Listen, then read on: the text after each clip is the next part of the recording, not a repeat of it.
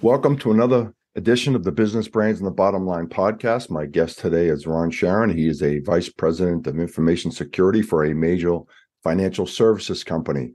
Welcome to the show, Ron. Uh, thank you for having me. It's a pleasure to be here. Yeah. So, Ron, we'll talk a little technology, but really what I wanted to talk to you today, and it's kind of a funny subject, is salespeople and how they approach you and all that. Because I, I see you on LinkedIn. That's how I first got connected with you and uh, you kind of have a lot of fun with salespeople. So we'll get that in a minute. Get that get to that in a minute. But as a vice president of information security, you've been doing this a long time, like your CISO, CIO, whatever you want to call it. Um, it especially at a financial services company, I got to believe this is a tough job. Yes, it's very challenging at times. Um, a lot of things are happening all the all the time around us, and we're just uh, uh, catching up with them or um, just seeing how they act inside the financial industry it's amazing like we're we're always dealing with something new yeah no i can i can and these hackers uh, they're getting good at it i mean not getting they are good at it there's all sorts of different techniques they use and um, but as i talk to people you know i'm in sales i work for you know it consulting companies you talk to our customers that i see a lot of internal training going on and I don't mean just the nuts and bolts of training. I think it's the uh, the strategy around it and having the employees be part of the solution versus shaming people. What do you guys What do you guys see around that?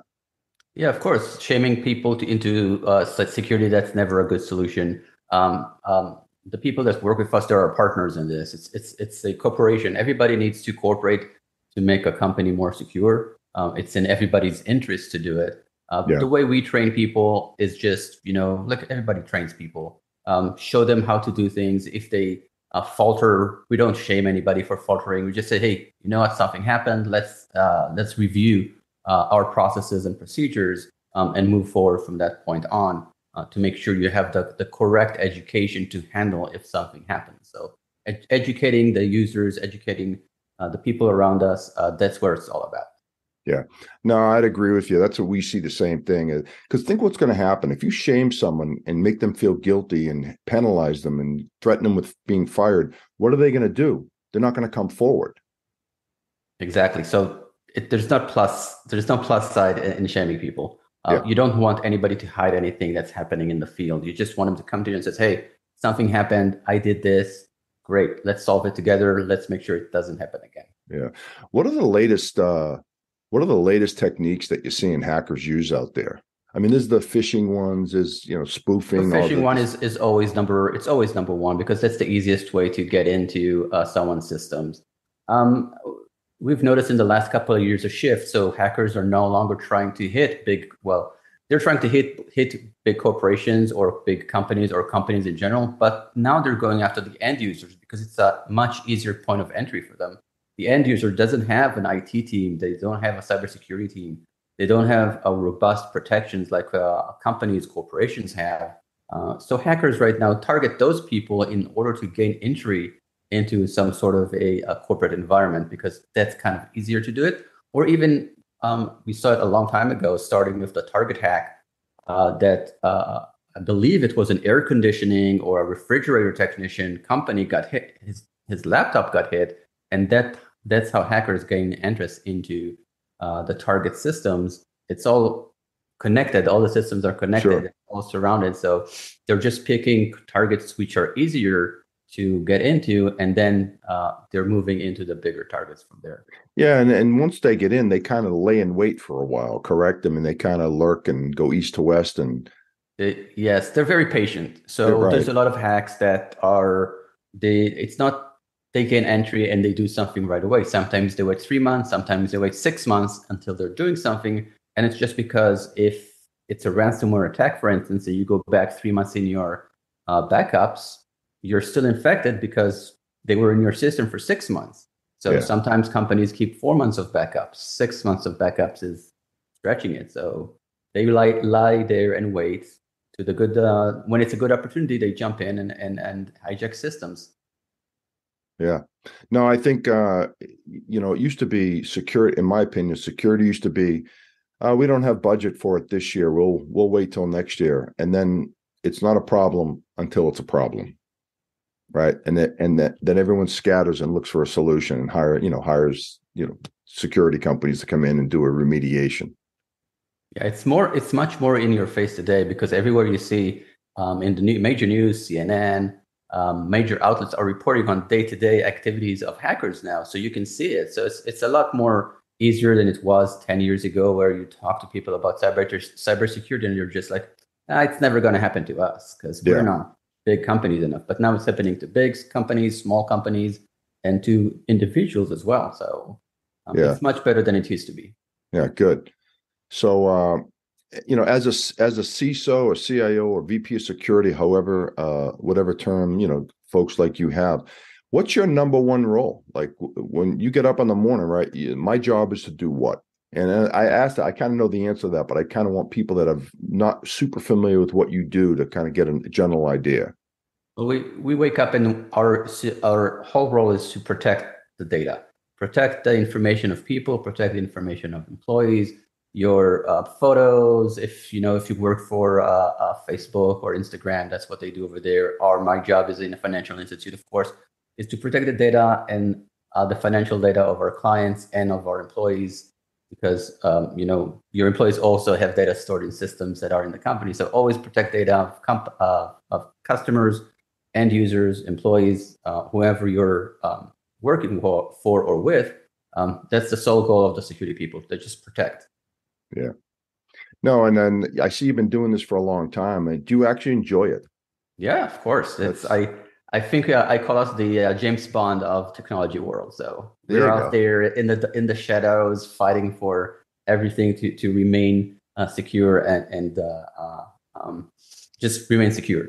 Yeah, and and you can't let up. That's the problem with it. It's not like okay, you caught someone, you're all set. No, it's like tomorrow you wake up and there's someone else trying to get in yeah, this there's not just one person or one group out there. It's, yeah. it's nation states, it's small groups, it's it's even young people that just downloaded something from uh, online from the dark web that can try and uh, do some real harm with some. Yeah.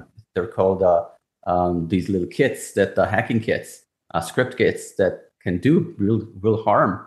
Um, so it's everyone. Like it's a lot of uh, variables all the time. Cool.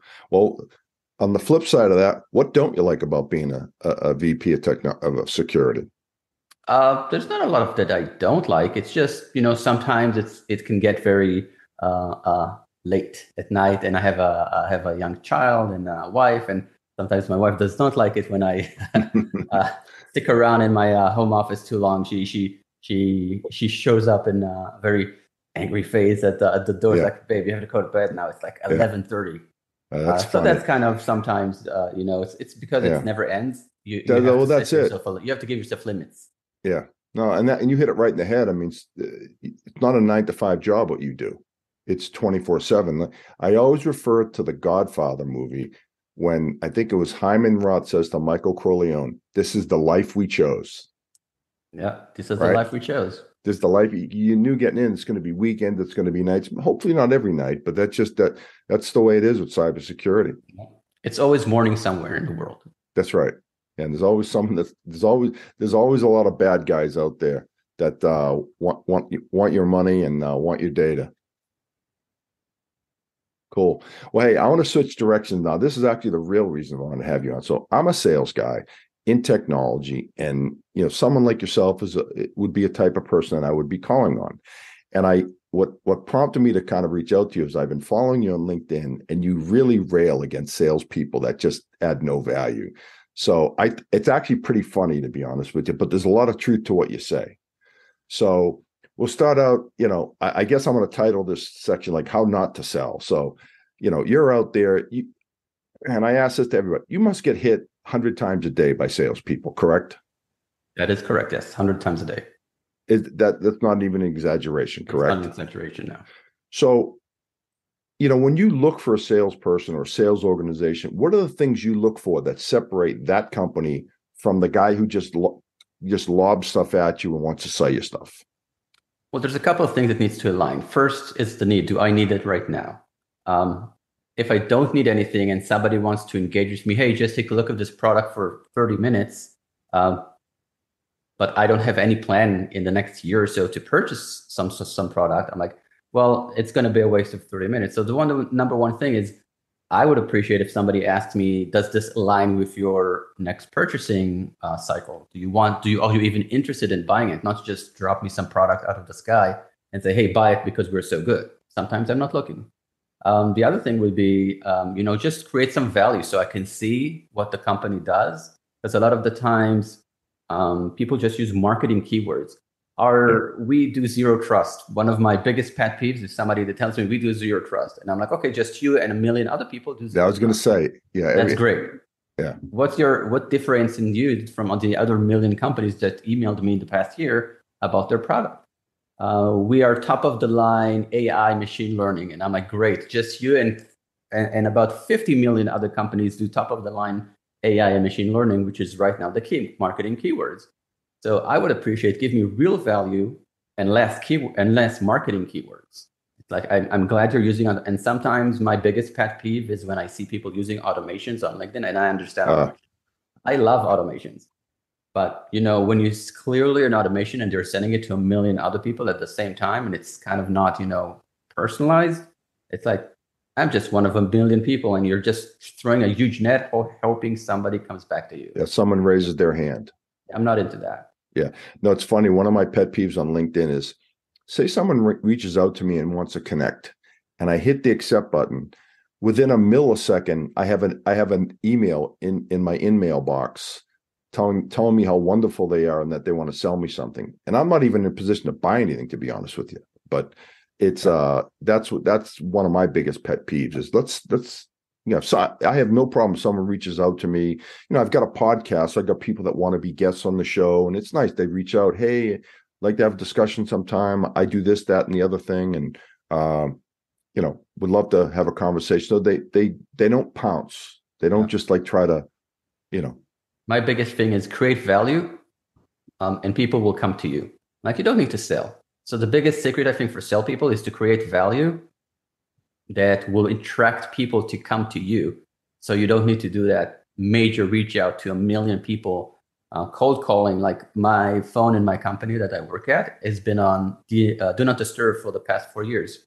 Because if it wasn't on Do Not Disturb, I would have gotten daily phone calls, about 20 of them, 25, yeah. 20 of people that found my number online and calling to see if I want this wonderful service. And I'm like, I can't work. I need to do work my job is not just picking up a phone call and re- and refusing people that want 30 minutes of my time. Yeah, and so you you touched on a good point. I think most organizations when they have nothing else to really revert to, they revert to cold calling and they browbeat all their sales reps into you got to make 50 calls a day when we all know it doesn't work. Yep. It doesn't it doesn't work. It might have have very low percentage of working, but is it actually worth the effort? I don't think it does. Just as an example of a great way to to build a community around yourself and just being friendly and just creating good content yeah. is on LinkedIn. I have uh, I have some friends that uh, they are a sale people, but they don't sell to you.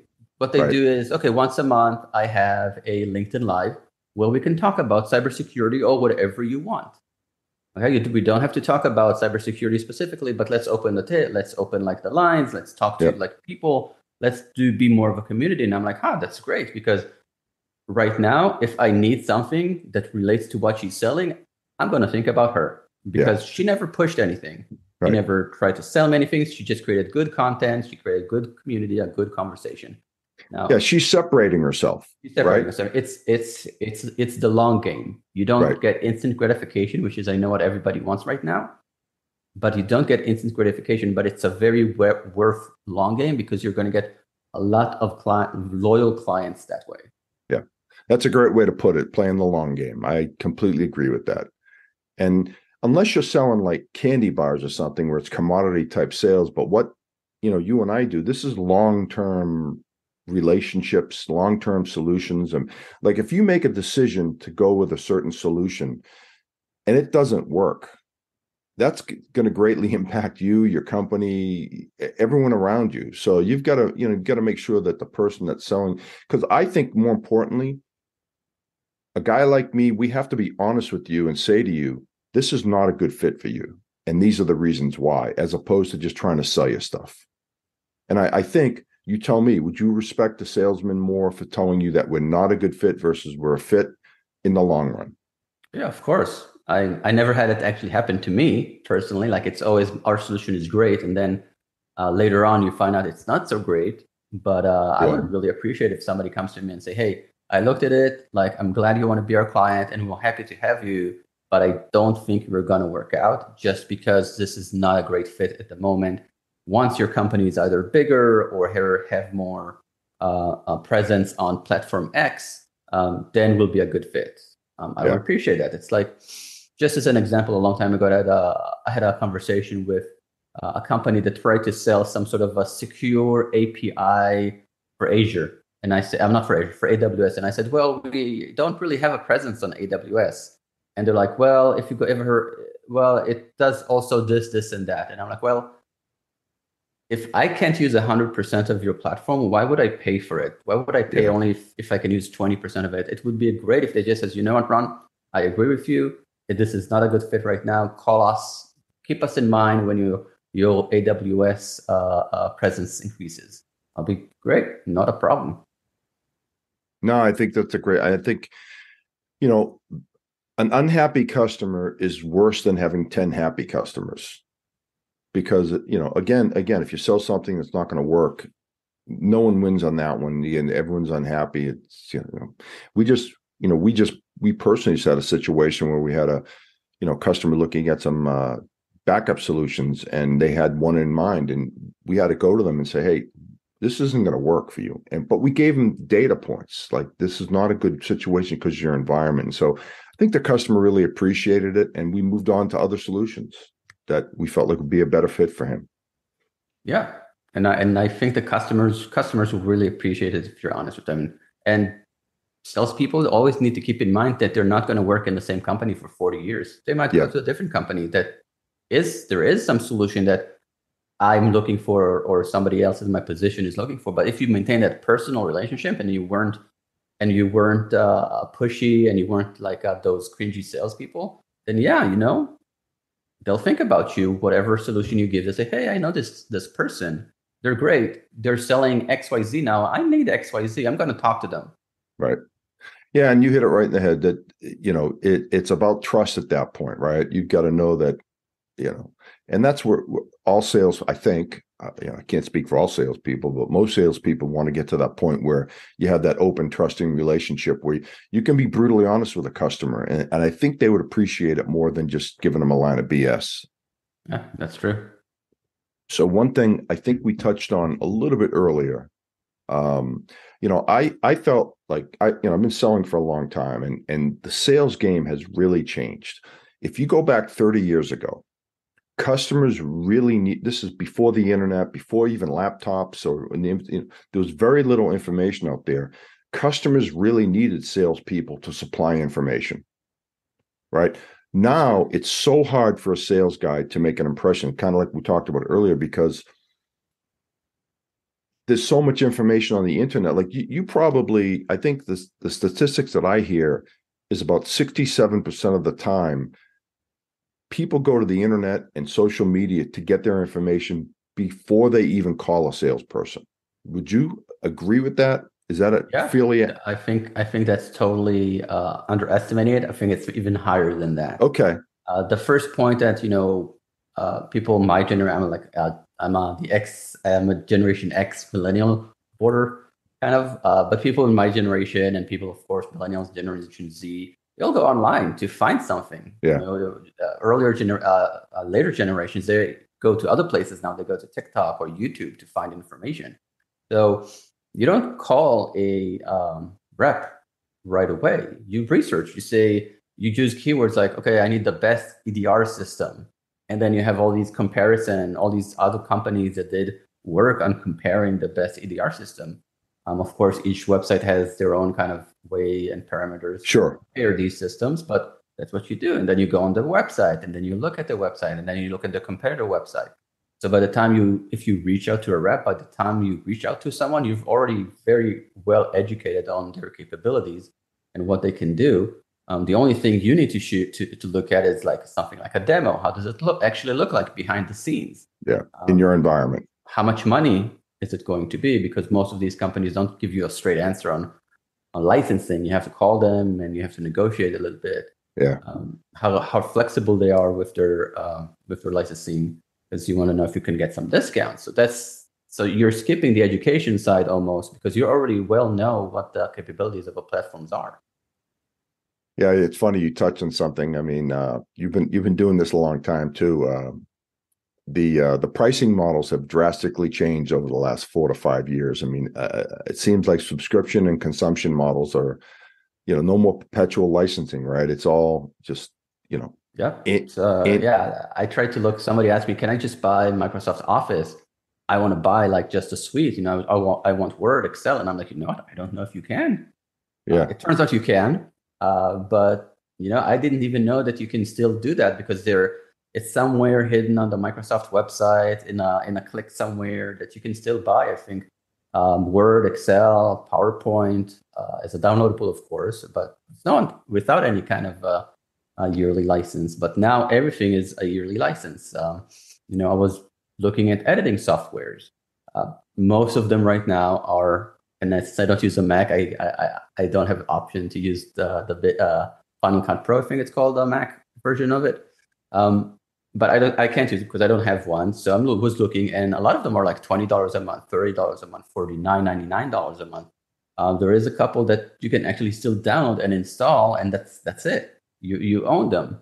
Uh, but a lot of them, I would say ninety percent is just pay to play for you know per month or per year um, and once you stop playing, your your product stops working. So you can't have it like in the good old days. You know, yeah. I had Word uh, uh, 2001 or Word 2005, and I kept it for eight years because you know I didn't want to change it. Yeah, yeah, I didn't want to, and and and they, uh, you know, they force you to upgrade, right? What yeah, so one advantage? Part, it's part of the yearly subscription fee. You upgrade. Yeah, yeah, that's a one advantage of this of the subscription model is that you, you getting the latest and greatest all the time, right? And it's uh it's all web based. Yeah, a lot of a lot of the new things are web based. Um, um, again, it's hard, very hard to find. Again, just things that are on your local computer. They're yeah. just installed. Um, but those are also have the the yearly or, or the monthly subscription model. Um, it's yeah. not just web platforms. Yeah. So where do you see where do you see it going in the future? I mean, do you see any changes? I mean, you you, you talk to a lot of companies out there. I mean, what are you what are you hearing and saying out there as far as you know models go? It's probably just going to continue on being the the subscription model because it brings a lot of revenue to the uh, to these companies. Um, they have trained us well to to pay for those, and we're paying for those, and we don't even think. Sometimes the, it just gets deducted from our bank account or our Visa. Yeah. Visa and we don't even know it. We don't even yeah. That's it. the for years.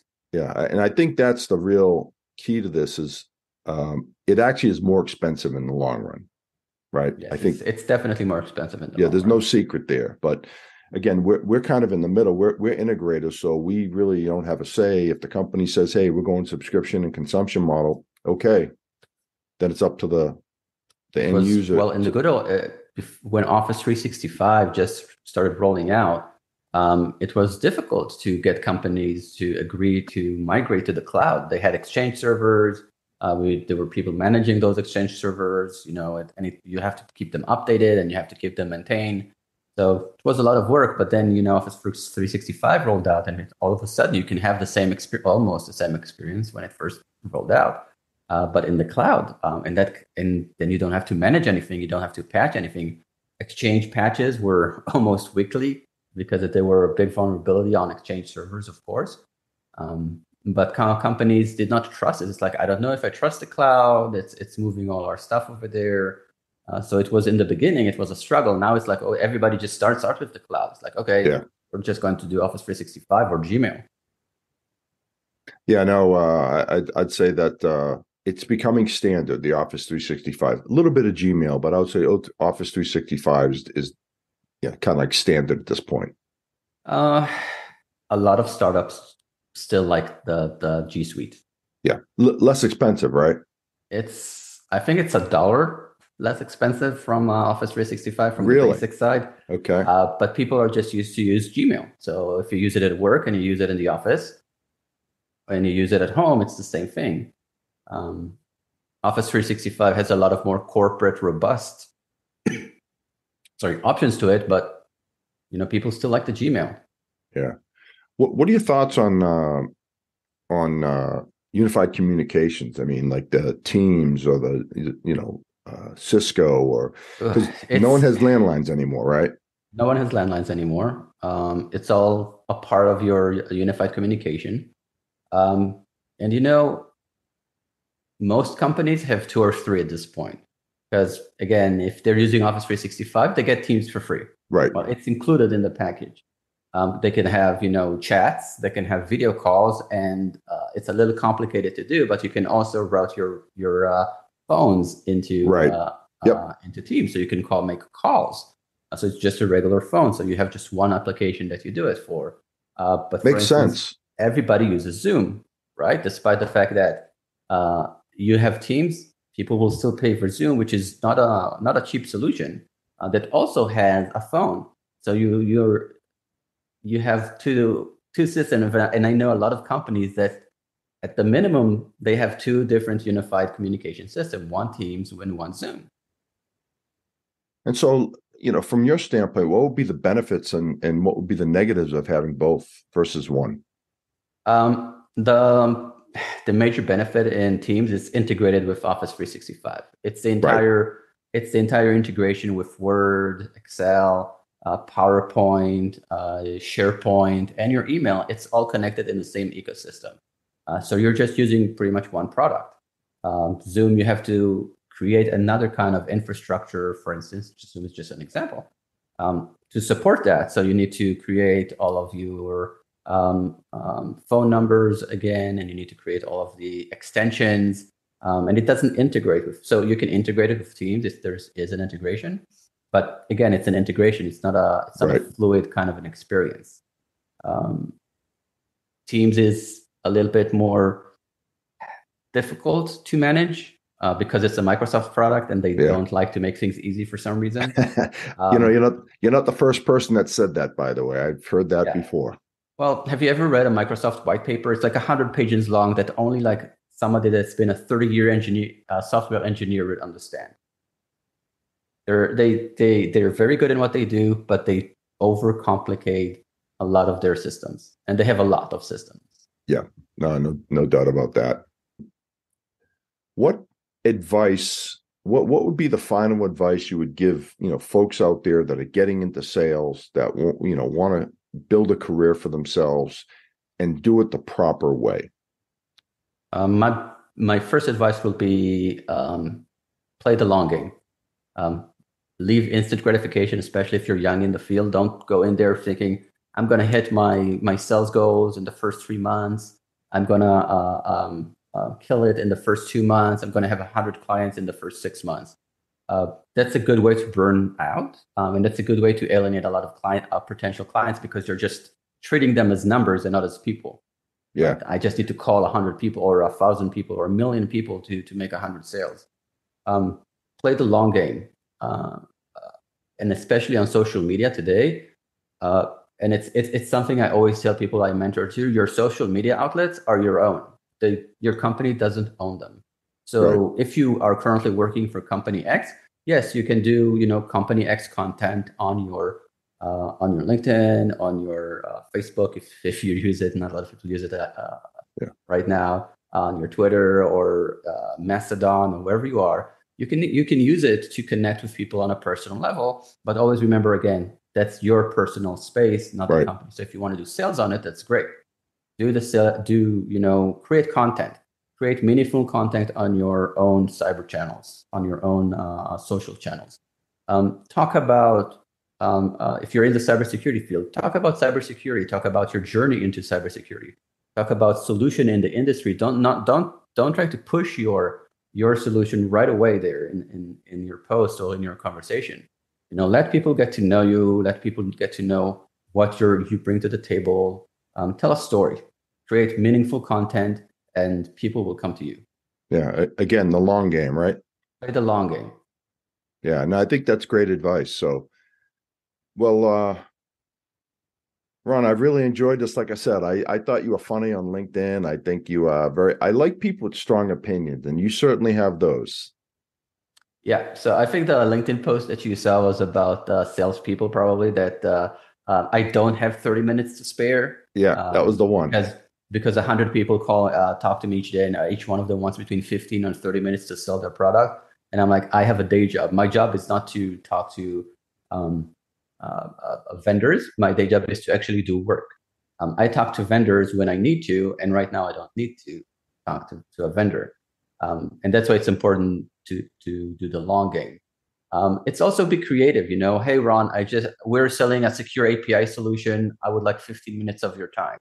Just think about how unoriginal that is, and think yeah. about that the, the hundred more or more salespeople that send me the exact same thing.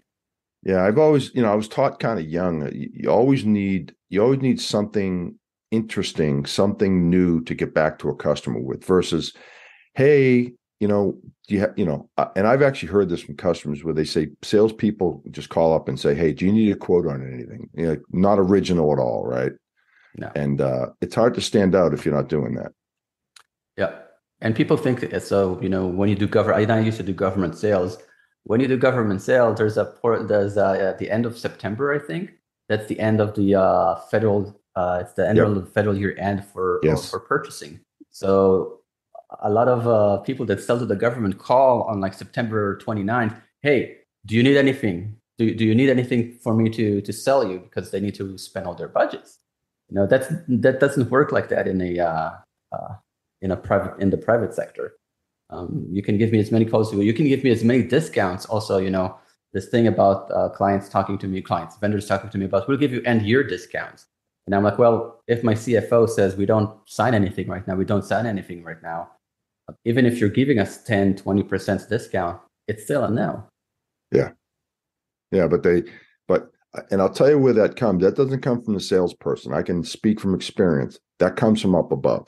Yeah. That comes from up above. Yes you know, some and, some some executive looking at a spreadsheet saying we need that deal, and I've gotten the calls. Hey, you offer them this offer, and I hate doing it because you sound like a used car salesman when you do it. But when your boss tells you to do something, you you do it. You do it, and I cringe every time I had to, but you know, wasn't my company, right? Yeah. So well, cool. Well, Ron, I really enjoyed having you on. Any any final words of wisdom for the for the audience out there before we sign off? Uh, always keep going, but uh, always play the long run. The long, I like that. I, I think that's great advice. Just patience, long game. Don't pounce, and I think uh, good things will happen in the long run. Yep, good things will happen in the long run. All right. Well, Ron, again, thanks for being on the show, and and that's a uh, that's a, a wrap for another edition of Business Brains and the Bottom Line podcast. Until next time. Thank you for having me, Paul. Oh, you're welcome, man.